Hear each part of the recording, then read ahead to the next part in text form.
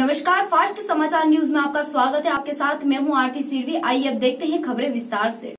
उमरिया ज़िले के बिरसिंहपुर पाली स्थित एमबीईबी कॉलोनी में बीते 11 मई को चल रहे संगीत में श्रीमद् भागवत कथा का समापन, वैदिक मंत्रोच्चार के साथ पूजा अर्चना, हवन आदि से किया गया भागवत कथा के अंतिम दिन भगवान श्री कृष्ण व सुदामा के मित्रता का बखान सहित गीता उपदेश के अंश कथावाचक श्री अंकिताचार्य जी महाराज के द्वारा प्रवचन कर बताए गए कि वहीं पूरे विधि विधान के साथ हवन आरती कर भंडारे का प्रसाद वितरण किया गया, जिसमें हज़ारों भक्तों ने प्रसाद ग्रहण किया। गौरतलब है कि उक्त धार्मिक अनुष्ठान नगर के समाज सेवी मथुरा त्रिपाठी परिवार के द्वारा आयोजित किया गया था।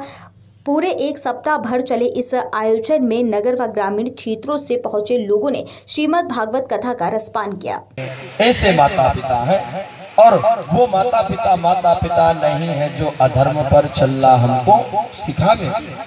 आजकल के छोटे नन्हे बच्चे अगर कहीं से चार रुपए लेकर के, दस रुपए लेकर के आवे तो हर माँ को चाहिए कि पहले उमरिया से प्रदीप त्रिपाठी की रिपोर्ट।